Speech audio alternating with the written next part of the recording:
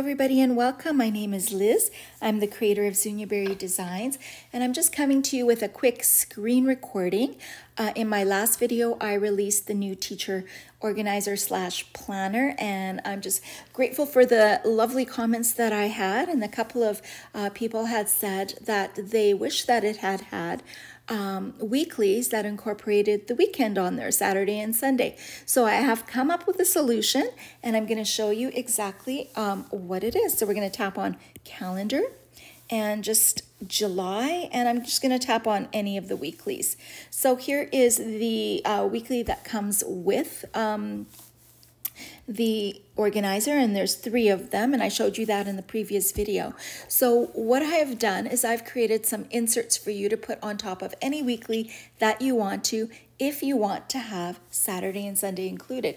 Um, there are six of them and they are individual PNG files and I've also created, if you are a GoodNotes user, I've also created an Elements file for you. So I'm just going to tap on Elements and here are the weekly inserts that I have for you. And we'll just tap on the first one to show you. This one is a Monday to Sunday insert boxed version with a blank space for you for your to-do list or anything else you want to put in there. And it's really easy just to resize them. They've been sized for this planner and put them into place. So here you have covered up the original weekly that's there and you have the opportunity to have Monday to Sunday, I want to let you know that the links still work on here and will take you to all of your pages very easily. So underneath, of course, is the original um, weekly and now you've placed a new one on here and also I want to let you know that one of the things um, if you are working on this page with a new um, insert put on here, the best thing that you can do is toggle onto the lasso tool and turn off images. So if you are, for example, writing or even writing a um, text on here and you want to use the lasso tool to move this text somewhere else, the background will not move.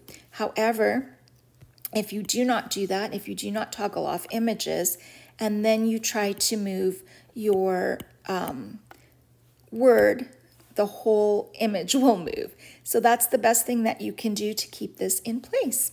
All right, I'm going to delete this one and show you all of the other ones quickly. And I hope that this is a good option for everybody. So that is the first one. And here's the exact same one, except for the fact that it includes uh, Saturday and Sunday. And you're just gonna carefully put that in place. Um, it fits perfectly on there.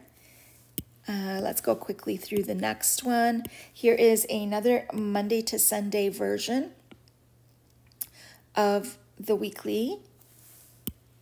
And here is a Monday to Friday version of that same one, just in case that you wanted to have um, just a Monday to Friday, that uh, version for yourself.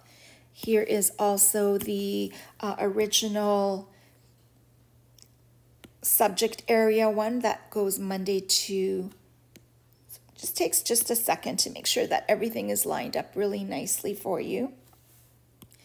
Um, Monday to Sunday with the vertical, sorry, the horizontal weeks.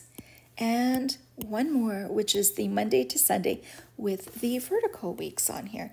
So it's very, very easy to put these on to whatever weekly page that you want.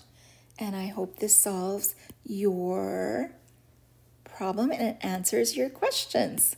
So thank you for watching. I'm excited to share this with you. It is already in the store under um, Teacher Organizer in a file there for you. So if you've already purchased this, you can go back and get that insert file.